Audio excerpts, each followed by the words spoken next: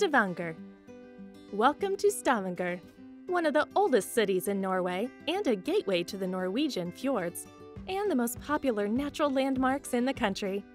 On the west side of the harbor, you can find Old Stavanger, which consists of 173 small white wooden buildings, which were constructed in the 18th century and early 19th century.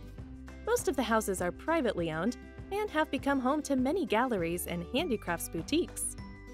It is impossible to overlook Stavanger Cathedral, which is the only cathedral from the Middle Age that has kept its original architecture. It was completed around 1150, and it owes its today's appearance to reconstruction, which took place after the Great Fire in 1272.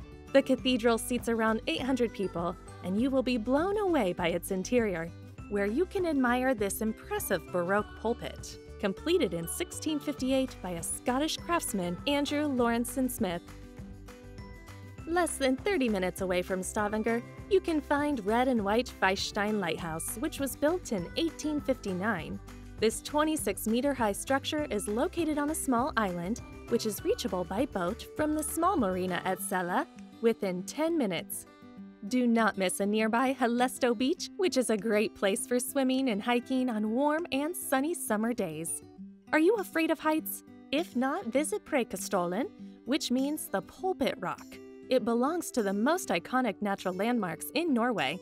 And on its top, you can find a mountain plateau of around 25 by 25 meters, located 604 meters above the Lysefjord, and visited by more than 300,000 hikers every year. It is one of the most famous viewing points in the world and a dream of every photographer.